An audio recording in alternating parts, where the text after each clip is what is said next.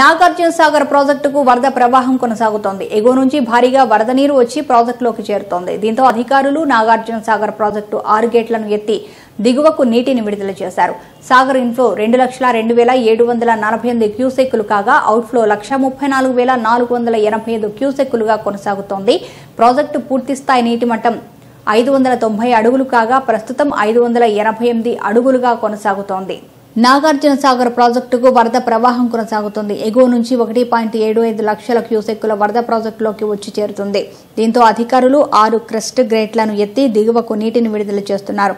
సాగర్ నుంచి లక్ష ముప్పై నాలుగు వేల నాలుగు వందల ఎనభై ఐదు క్యూసెక్కుల వరద దిగువకు వెళుతుంది.